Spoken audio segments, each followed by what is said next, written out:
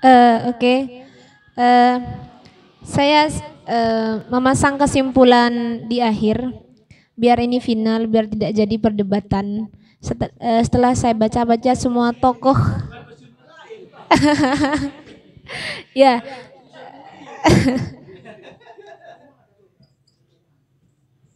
Setelah saya baca semua tokoh-tokoh perempuan itu, ya, satu kesimpulannya mereka ini ingin uh, cuma satu, mereka unsur keadilan dan kesetaraan di ruang publik. Laki-laki dan perempuan itu saling membutuhkan karena laki-laki juga tidak bisa hidup tanpa perempuan, juga perempuan itu tidak bisa hidup tanpa laki-laki. Iya. Fatimah Mirnisi ini dia memperjuangkan hak-hak perempuan karena dia uh, pada saat itu konstruksi budayanya uh, karena dominannya lebih ke patriarki. Jadi jadi dia memperjuangkan uh, hak-hak perempuan. Salah satunya dalam bidang pendidikan ada, bidang sosial ada. Karena karena itu dia membuat yang namanya uh, gerakan perempuan di mana gerakan perempuan itu pada saat pada saat itu dia wadahi semua perempuan-perempuan untuk uh, maju bersama dalam dunia pendidikan agar perempuan itu uh, apa istilahnya ya tidak tertinggal dan tidak ada di second class gitu. Iya. Terima kasih. Uh, coba jelas anu, Mbak, jelaskan, Mbak. Keadilan menurut Fatimah Penisi itu seperti apa? Ada enggak? Uh, ya, keadilan menurut Fatimah Bernisi ini ya yaitu karena dia ya perempuan pada saat itu ketika di Maroko ini kan uh, dulu sistemnya kerajaan dan uh, kerajaan itu mereka masih uh, mendiskreditkan perempuan yang perempuan itu tidak boleh berpendidikan. Oleh karena itu ketika Fatimah Bernisi hadir, dia membuat membuat suatu gerakan agar perempuan itu pada saat itu juga sama-sama mengenyam pendidikan, begitu. Ya. Eh, tidak hanya itu, banyak sih intinya dia memperjuangkan perempuan itu sebenarnya. Iya, bisa jadi dia perempuan itu juga uh, ikut dalam kontes demokrasi begitu. Uh, begini.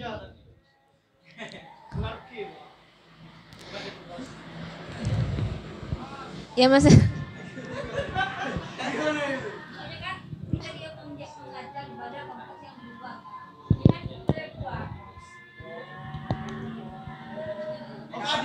Berarti sama ya same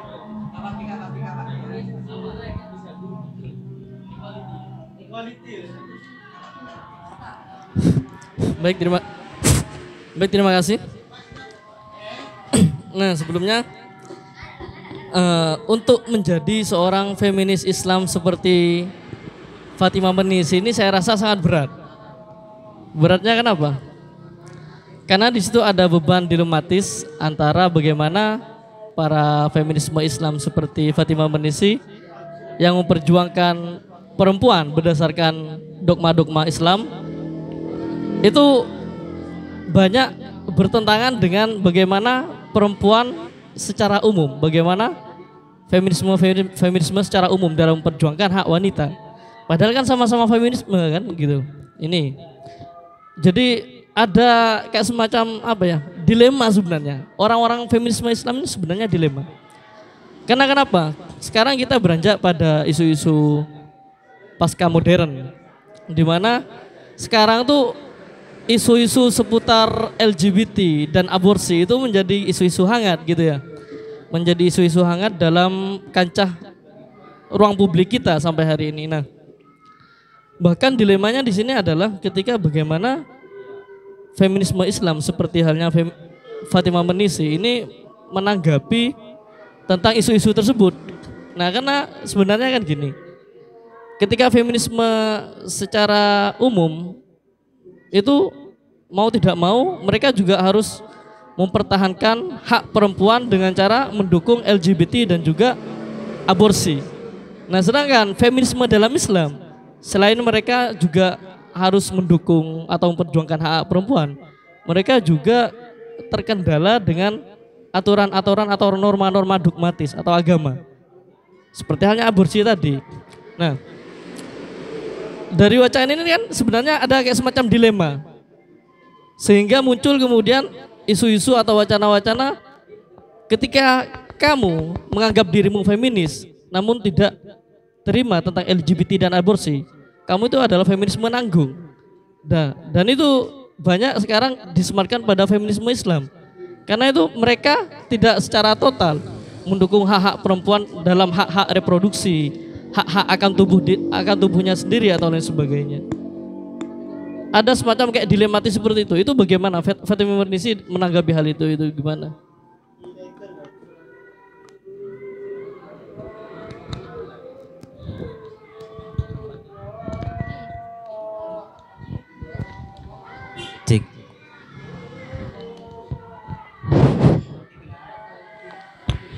Uh, ya untuk uh, terkait dengan pernyataan bagaimana sih tentang kalau sekarang kan wanita sudah banyak aborsi atau dengan dengan kasus LGBT uh, bagaimana Fatimah Bernisi menyentuh hal ini? Sebenarnya untuk kasus yang seperti itu uh, sepengetahuan saya itu Fatimah Bernisi ini tidak menyentuh hal itu. Karena dia itu lebih ke gerakan perempuan itu untuk ikut andil dalam ruang publik dalam ranah sosial begitu. Untuk yang seperti itu uh, spontan saya itu belum menyentuh begitu. Iya.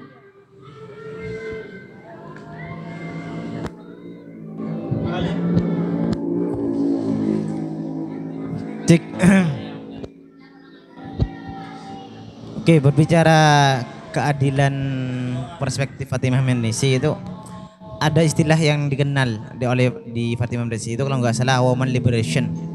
Dalam artian kebebasan perempuan. Setahu saya itu mungkin koreksi mohon koreksinya pemantik. Kebebasan perempuan. Woman liberation. Jadi ah iya seperti itulah. Ya. Jadi kebebasan perempuan itu kalau yang saya pahami itu yang dimaksud keadilan bagi perempuan. Yang dimaksud oleh Fatimah Menesi yang mana di lingkungan sosial atau lain sebagainya posisi perempuan dan laki-laki itu harus sama. Jadi di sana itu letak yang di, kebebasan yang dimaksud itu bukan kebebasan ugal-ugalan tanpa memperhatikan value yang ada di Islam, tapi tetap memperhatikan value Islam. Tapi di posisi mana pun lingkungan sosial masyarakat laki-laki dan perempuan itu harus sama. Itu yang dimaksud dengan keadilan versi Fatimah Mirnisi atau disebut sebagai wanita apa ya perempuan bebas itu. Bukan hanya itu di saya. Mohon koreksinya ya.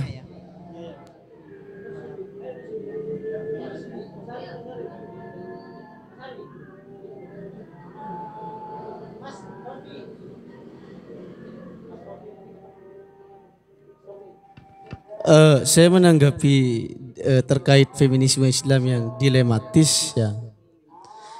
Justru kayak gini dan apakah Islam membutuhkan feminisme? Kan pertanyaannya itu yang pertama. Iya sudah ada ulama kok untuk terkait apa memutuskan hukum. Aborsi. Sampai hari ini pun gak ada majelis ulama perempuan kan?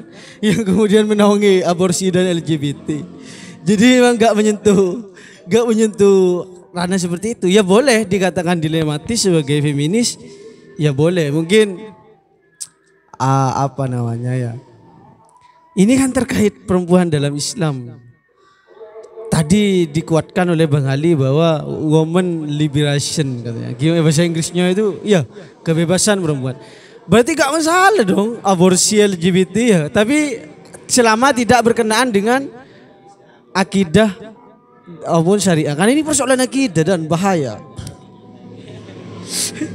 ya itu feminisme Islam kayak. Jadi landasannya adalah terkait bagaimana tetap uh, mengacu pada Al-Qur'an dan hadis ya. Jadi kan hari ini kan apa bedanya antara KB dan aborsi kayaknya mirip-mirip ya. KB dan aborsi secara use value kan mirip ya. Tapi kan muslimah hari ini kan membolehkan KB ya. Iya halal ya. Ya enggak lah. Untuk tidak eh, menghamil kayak gitu intinya ya kan. Boleh kan sama saja. Kalau aborsi ketika sudah hamil kalau uh, KB kan untuk ketika mencegah untuk tidak seperti itu ya. Mungkin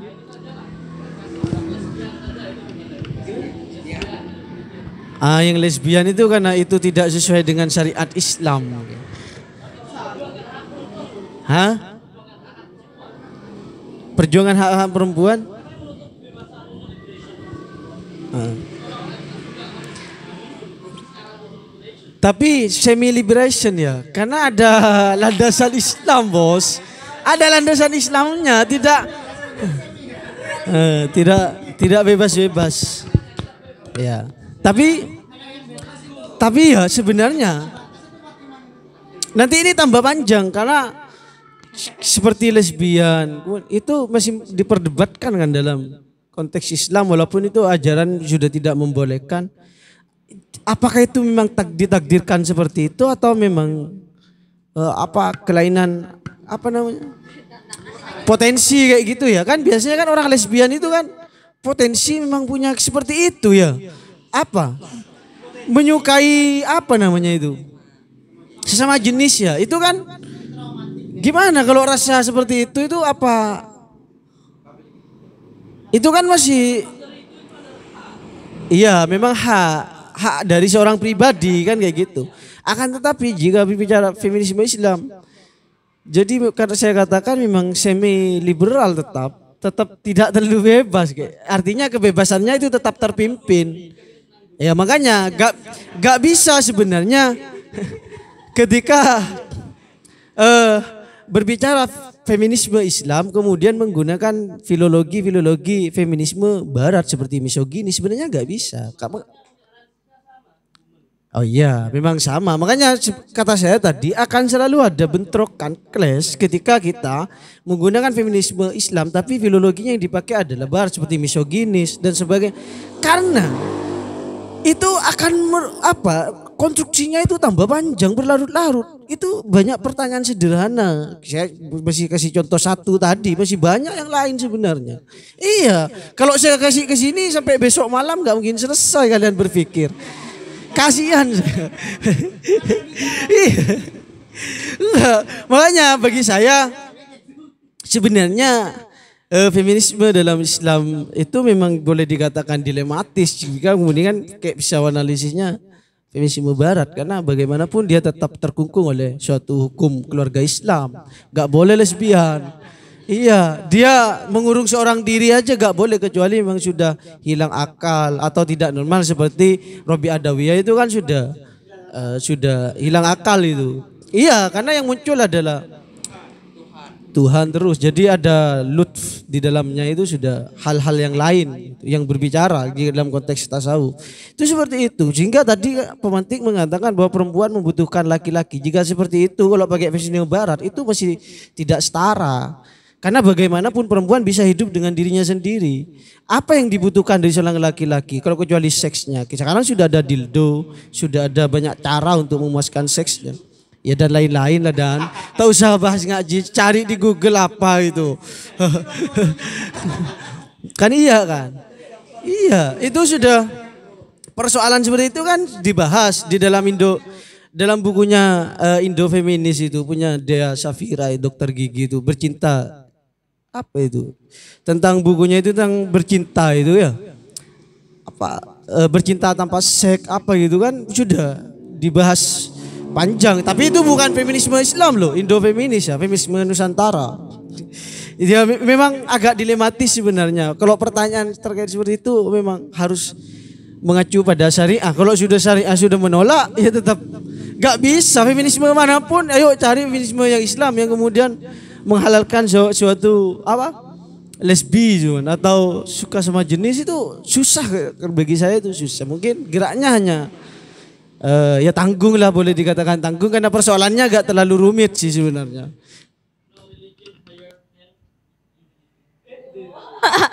Tapi sebenarnya makanya agak aspek yang mana yang itu memiliki nilai humanitas gitu kan.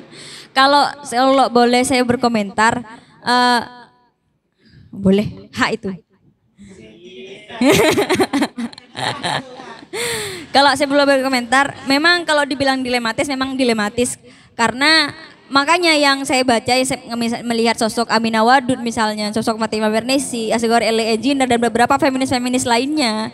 Itu yang mereka kaji itu hanya aspek-aspek yang yang sosial gitu, aspek-aspek karena begini kalau menggunakan pemetaannya Abdullah Said itu mereka feminisme Islam itu terikat dengan aturan bahwa ada ayat-ayat yang tidak bisa ditafsirkan gitu. Misalnya ayat-ayat yang berkaitan dengan aspek sholat, aspek-aspek akidah dan lain sebagainya itu tidak bisa disentuh. Sedangkan yang menjadi yang bisa yang di situ masih fleksibel, yang di situ masih bisa ditafsirkan ulang itu ayat-ayat yang berkaitan dengan sosial budaya. Sehingga yang banyak dikaji misalnya tentang kepemimpinan dan lain sebagainya. Sedangkan misalnya ketika sosok sosok feminis Islam itu muncul menafsirkan sesuatu yang itu jauh misalnya out, out of the box misalnya sosok Aminah Wadud bagaimana ia memimpin sholat sholat Jumat gitu kan. Nah itu mendapat kon- mendapat apa nah ya penentangan dari orang baik itu perempuan baik itu laki-laki gitu. Makanya kalau kita dibilang dilema dilemanya karena banyak sekali sekarang muslim atau atau yang perempuan lah atau perempuan yang muslim. Muslimah ya cek ceribet muslimah. Kita masih terkungkung dengan aspek formalnya gitu Makanya yang dikaji itu lebih ke bagaimana nilai-nilainya, apakah misalnya tentang tentang kepemimpinan, misalnya sosok Aminah Wadud, kenapa ia mau memimpin sholat gitu kan? Karena ia tidak terikat dengan aspek pemimpinnya itu harus laki-laki dan sebagainya sebagainya, tapi lebih ke situasi dan kondisi apa yang di situ laki-laki bisa menjadi pemimpin sholat gitu. Dan itu pun masih mendapat pertentangan gitu. Nah itu dan juga mengomentari tadi eh, kenapa misalnya seperti hadis tidak ada perawi-perawi perempuan sebenarnya ada banyak mungkin kemarin ada saya tahu saya lupa bukunya siapa itu perawi dalam hadis perawi perempuan dalam hadis itu banyak gitu cuman tidak banyak diflorkan ke publik gitu kenapa apa apa Enggak tadi disinggung kan.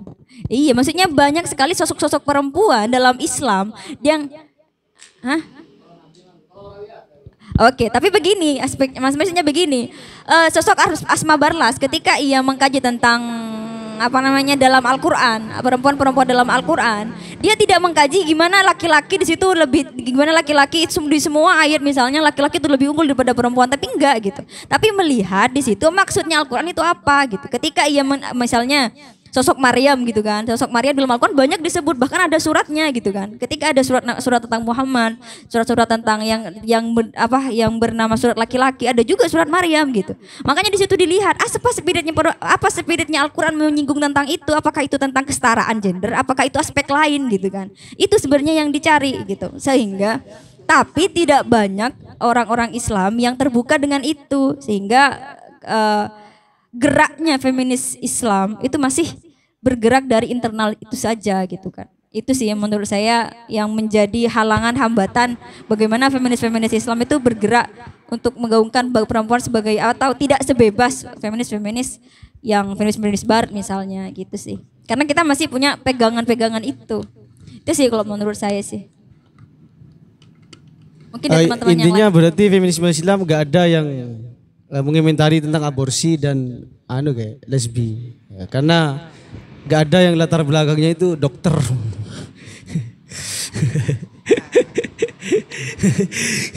ya tapi itu sudah dilarang ya, sudah dilarang oleh syariah ya. Kan dilarang ya, suka sama jenis dilarang. ya? Iya. Sama syariah kan dilarang suka sama jenis ya. Iya kan, berarti gak mungkin ya kalau dia Hah? Gak bisa ditafsirkan lagi sudah dilarang. Nanti kalau mau pakai pakai tafsir tafsir nanti bisa. ya nggak tetap gak bisa. Jadi tetap mungkin feminisme Islam itu bergerak di bidang lainnya saja ya gak apa-apa walaupun sebagai pengkritik atau penyinyir hadis lah gak, gak masalah lah yang penting mengaku sebagai feminisme Islam daripada gak punya feminisme kan gak enak juga kedengarannya kan seperti itu ya iya loh enggak maksudnya makanya kata saya bergeraknya itu di bidang lain kayak gitu. Tidak bergerak di bidang perihal eh, kondisi sosial hari ini lesbi. Walaupun kan sebenarnya konsep-konsep dalam Al-Qur'an terkait suka sama jenis itu kan ada sebenarnya kan. Eh, kaum apa nabi siapa itu? Nabi, Nabi Lut dan sebagainya itu jelas sudah dilarang dan eh, jadi jadi suatu apa namanya penyimpangan ya? Ya Mbak ya? Jadi penyimpangan ya? Tapi saya masih ingin sebenarnya tapi gimana ya? Yang jelas bagaimanapun saya kagum bahwa Fatima Menisi ini sudah ingin membuat gerakan feminis dalam Islam daripada perempuannya kolot-kolot kan kayak gitu. Sudah mencoba belajar berpikir eh, mulai dari nyinyir kemudian kritis dan naik, naik lagi nanti juga menjadi ilmuwan kan seperti itu. Ya biasa gak masalah. Eh kayak gini ya. Yang saya bingung tetap dalam feminisme Islam itu sebaiknya feminisme Islam lebih baik mengkonstruksi dalam ranah hukum sebenarnya. Karena bagi saya, oke sumbernya tetap hadis dan Al-Quran. Tapi produk dari Al-Quran dan hadis itu kan menghasilkan suatu hukum kan mas ya. Seperti talak kan ya. Kan yang boleh talak kan hanya laki-laki ya. Kalau perempuan tidak bisa menalak kan. Ya. Nah. Enggak. Nah itu sebenarnya sudah mengarah ke sana. Feminisme Islam gelombang keberapa ini? Gelombang gelombang longitudinal mungkin. Gelombang ini sudah sebaiknya sudah belajar HKI, sudah saya sarankan Iya ada, tapi sebaiknya mengkonstruksi ulang bagaimana seperti mewaris uh, Syekh siapa itu Sambas itu di Kalimantan menyatakan hak waris karena rata-rata perempuannya yang kerja di situ. Sehingga sama tidak ada istilah kalau laki-laki satu, kalau perempuan seperempat atau setengah dan apa dan sebagainya, nggak ada seperti itu. Sama karena perempuannya juga bekerja di situ. Kan perempuan kan menginginkan kesetaraan sama. Jadi kalau laki-laki nyangkul ya perempuan nyangkul dan alhamdulillah kalau di Madura itu sebagian juga rata-rata seperti itu. Cangkul men ya cangkul mencangkul. Akhirnya dapurnya agak masak kan kayak gitu. ya itu sih sebenarnya eh, saran saya kalau boleh usul yang ingin mengi- tetap menginginkan feminisme Islam bagi saya sebenarnya eh, gak usah sebenarnya ada feminisme Islam. Hanya feminisme saja lah seperti itu ya. Tapi tetap kalau soal agama itu kan eh, konsumsi pribadi tetap berlandasan terhadap eh, keyakinannya dan kepercayaannya masing-masing kayak gitu jadi itu bagi saya karena setiap sosial kan tidak sama ya kan kalau saya mungkin kalau orang Islam itu a- adakah berpotensi untuk suka lawan jenis enggak? Kalau sesama Islam, kalau umat Islam itu ada potensi untuk suka lawan jenis ya? Enggak, kalau umat Islam itu ada ya? Oh, ada. Oh berarti ketika banyak seperti itu feminisme juga mengomentari apa itu penyakit atau apa? Iya iya dan saya saya tahu manusia kan kayak gitu. Ketika ada seperti itu maka eh, perempuan ini harus ya harus mengkaji kayak gitu kan. Harus mengkaji bagaimana dan penanggung jika ini adalah suatu ketimpangan penanggulangannya bagaimana kan harus memberikan eh, psikologi Islam ya.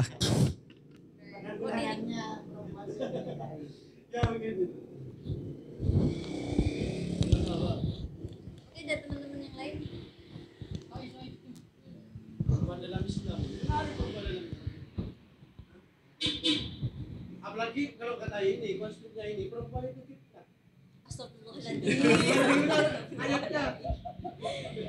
Kok bisa seperti itu? Gimana? Apa landasan? Gimana ayatnya dan bentuk? Gue bisa baru di Bible. Harta perempuan. Cek cek. Eh, ya, ya, saya masuk dulu sedikit sebenarnya. Eh, Iya siap siap. Ini kan cuman mau cuman mau eh,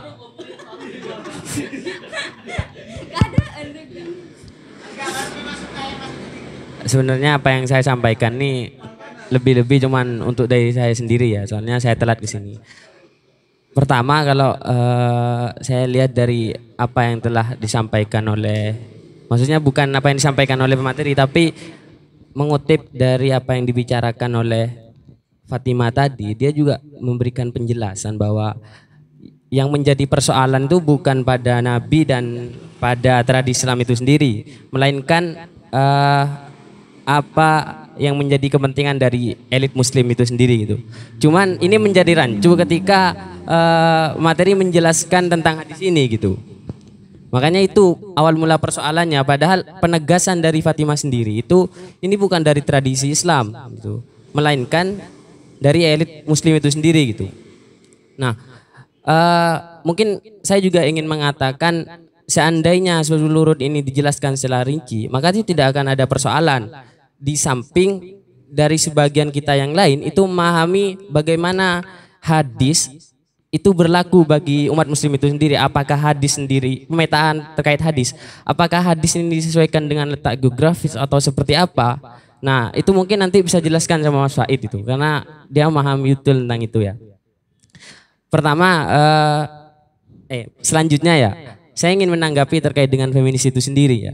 Sebenarnya Islam itu berbeda dengan agama yang lain. Dan sebenarnya juga juga sudah jelaskan bahwa agama Islam sendiri itu tidak ada paksaan.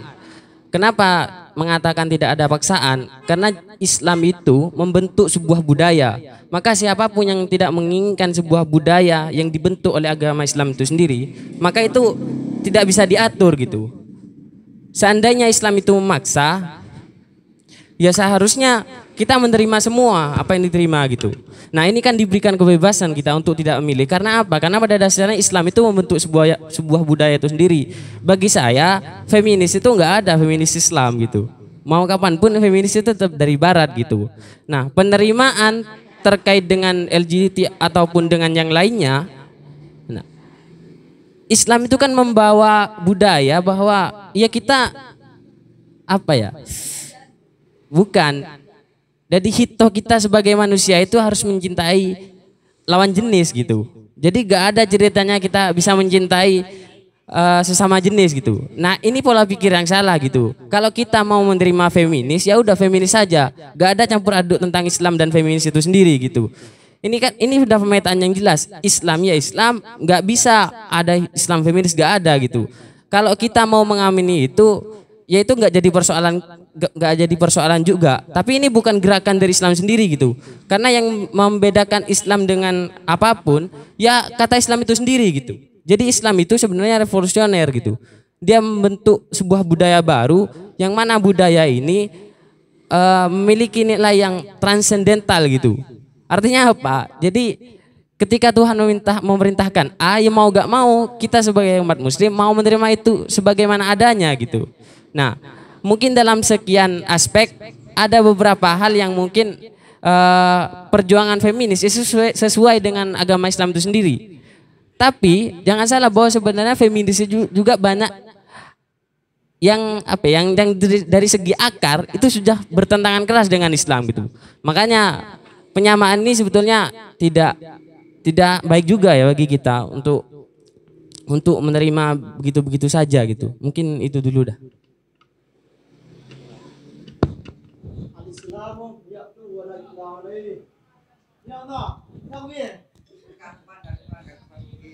Gimana pemantik menjelas, uh, menanggapi ini? Kan itu bukan dari feminisme Islam tapi feminisme Fatimah Marnisi. Seorang Fatimah Marnisi.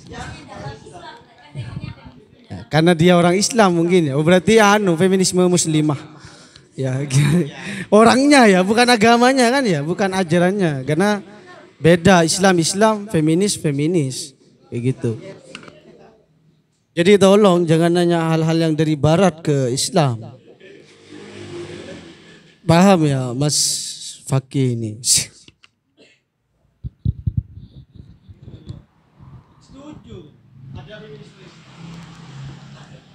Iya. Oke, Bismillahirrahmanirrahim. Uh, saya saya setuju sekali kalau ada yang namanya feminisme Islam itu. Sangat setuju karena uh, itu yang menjadi background pembedaan. Karena kenapa sih kalau feminisme Islam itu tidak menggugat ayat-ayat hukum? Karena itu sudah kot'i, sudah apa ya istilahnya, sudah tidak bisa diganggu diganggu gugat lagi gitu. Iya, karena yang digugat oleh para feminisme ini tentang ayat dan hadis itu yang uh, menurut mereka itu memarginalkan perempuan gitu. Mana ada kan eh, ya kan beda dengan mufasir. Itu dengan mufasir perempuan juga ada eh, apa kayak Zainab Al-Ghazali dia ju- juga punya kitab tafsir 30 juz lengkap sama dengan mufa- apa mufasir laki-laki. Dia ketika menafsirkan ayat yang berbau hukum eh, dia tidak apa tidak membela kaumnya. Eh, misalkan tentang waris ya waris itu ya laki-laki dua perempuan satu itu sudah kotnya sudah ketetapan. Baru ketika dia masuk ke dalam ranah ayat-ayat tentang yang berbau perempuan misalkan tentang larangan perempuan kelu- keluar rumah seperti Al-Ahzab ayat 33 itu karena fi buyutikunna itu baru dia apa me- eh, merekonstruksi pemikirannya. Bagaimana kok bisa ayat ini seperti ini? Begitu. Ya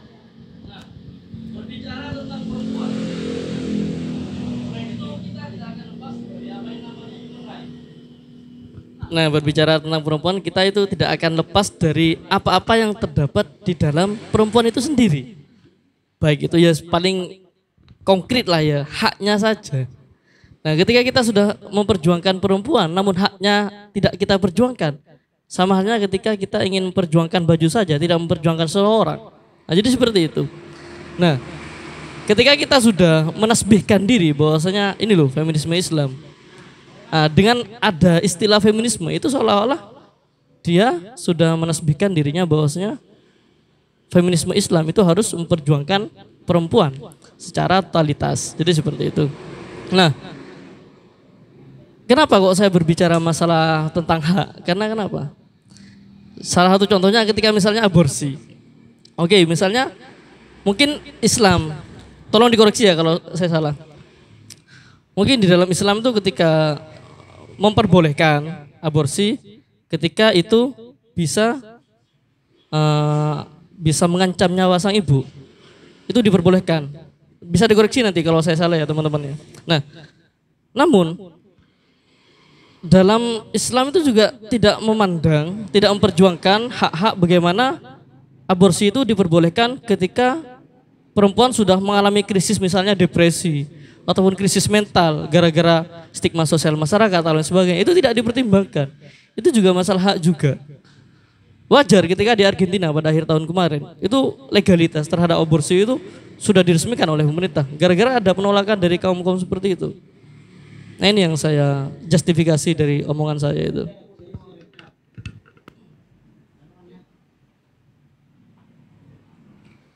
Cik, eh, berbicara boleh atau tidak itu sebenarnya ranah hukum ya. Dan saya koreksi dari pemantik, saya baru kali ini mendengar bahwa warisan tentang satu dua itu adalah hukum kot'i. Itu saya gak pernah mendengar itu. Karena itu adalah produk budaya bagi saya. Ketika itu kan Nabi Muhammad mengadopsi budaya eh, Arab pada masa itu. Itu yang saya baca dari suatu berbagai hadis ya. Ah, berbicara hukum itu sebenarnya tidak murni Oke, ada suatu teks yang itu murni dari hukum seperti kita dianjurkan sholat dan sebagainya. Ya, ini nanti kaitan dengan aborsi.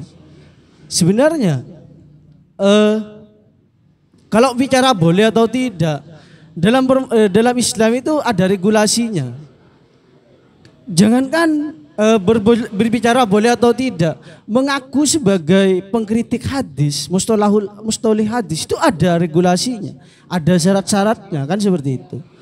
Maka saya tetap eh, mengatakan bahwa Fatimah Marnisi ini jika kemudian eh, dikatakan dilematis ya dilematis, dia nanggung ya nanggung. Makanya lebih baik kata saya feminisme wes jika dia ingin bergerak dalam gerakan perempuan ya wes bergerak perempuan aja, gak, gak usah bawa-bawa nama Islam. Tapi kata saya lumayan kan ada feminisme, ada orang muslimah sudah masuk pada apa namanya?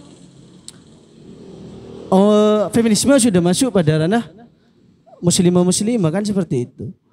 Sebenarnya aborsi itu ijma itu kan dalam fikih kontemporer.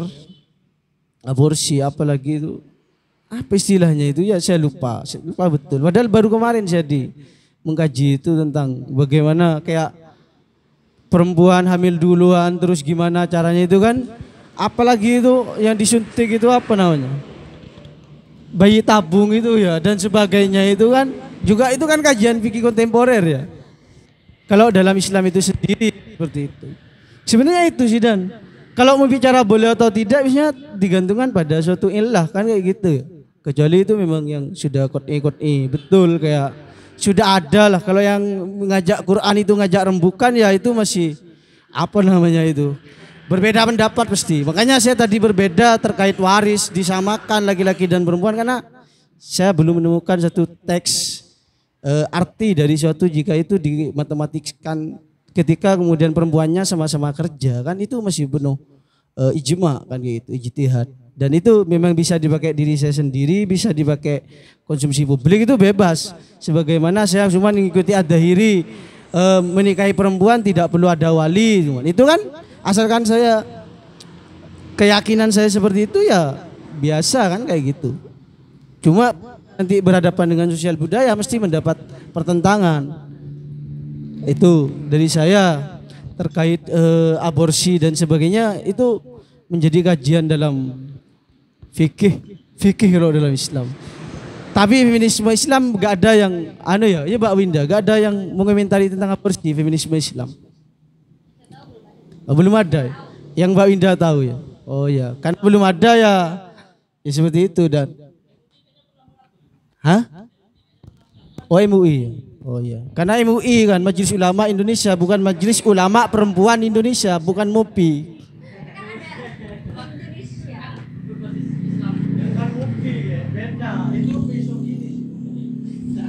Yang pertama sedikit meluruskan memang terkait dengan waris itu dua bening satu itu ayat-ayatnya ya ayat terkait waris itu memang koti sifatnya.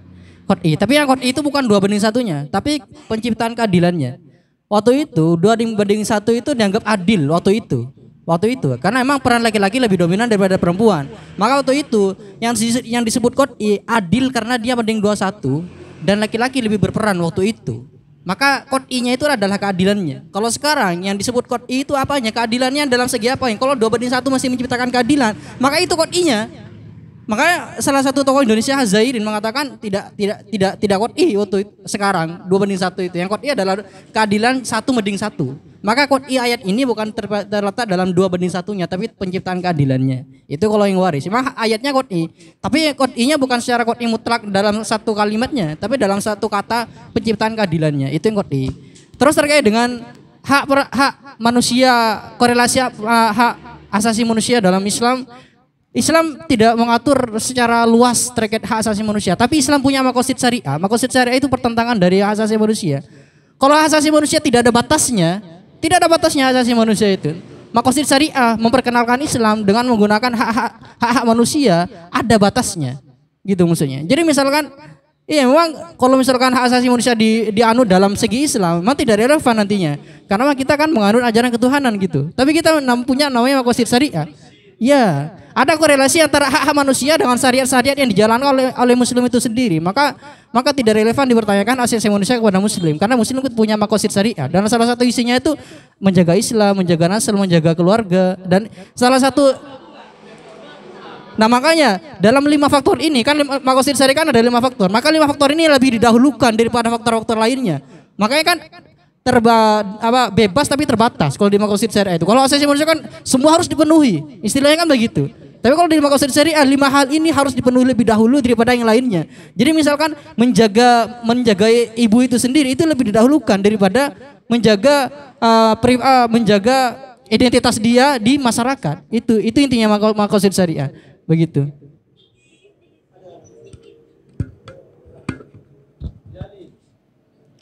Eh iya memang kalau yang saya yang saya tahu ya yang di kalau ayat Al-Qur'annya kan tetap ya. Yang banyak di yang banyak dikembangkan saat ini adalah bagaimana metodologi pembacaannya itu.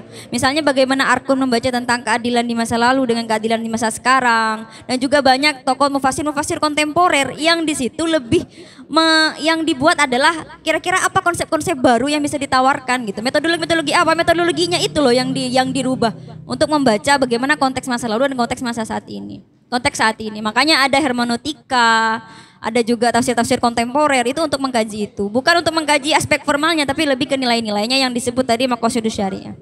Itu sih kalau menurut saya. Jadi itu sih menjadi pagar pagar pagar bagaimana kita meng- mengkaji suatu fenomena dalam Islam. Tapi kalau mengkaji feminisme dalam Islam, feminisme memang secara periodik ya lahir belakangan dibandingkan dengan Islam. Islam kita mengkaji nilai-nilainya, makanya fleksibel gitu. Itu sih kalau menurut saya silah, silahkan kembali kepada forum. Mungkin tepatnya tepatnya kalau kayak gitu bukan feminisme Islam ya. Perempuan Islam mungkin dalam Islam gitu ya. Ah itu mungkin lebih bisa menjadi bahan rekonsiliasi. Ah ya, mungkin perempuan dalam Islam.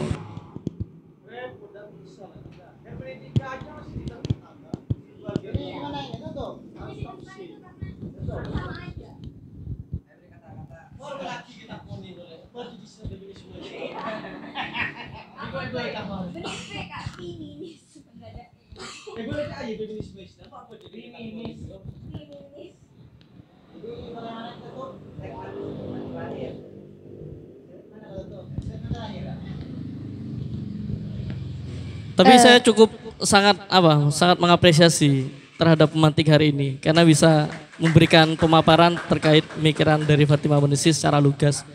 Meskipun masih ada beberapa mungkin yang dari kita atau dari pemantik mungkin ada salah sedikit kata atau lain sebagainya. Itu haram maklum karena ini diskusi lepas jadi gitu ya pemantik ya. Tapi secara umum saya rasa pemaparan pemantik sangat luar biasa hari ini. Eh, Oke, kata-kata terakhir dari saya.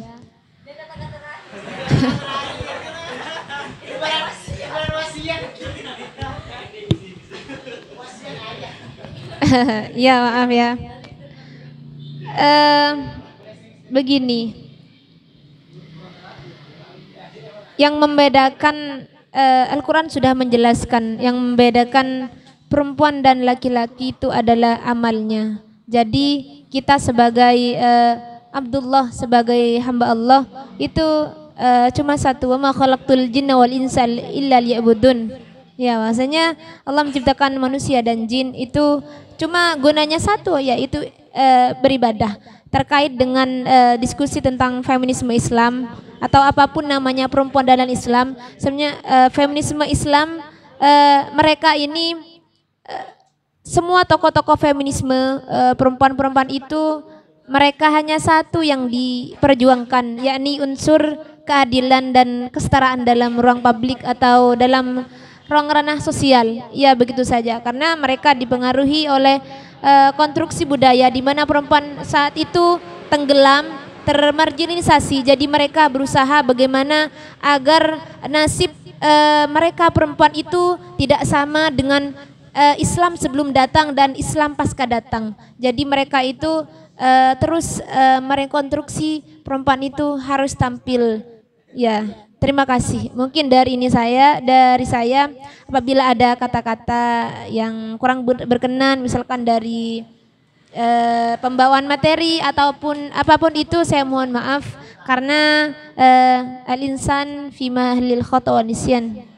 Ya. Assalamualaikum warahmatullahi wabarakatuh.